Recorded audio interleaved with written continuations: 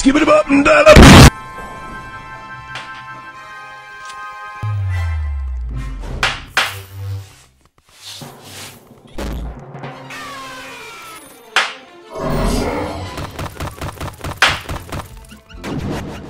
Thank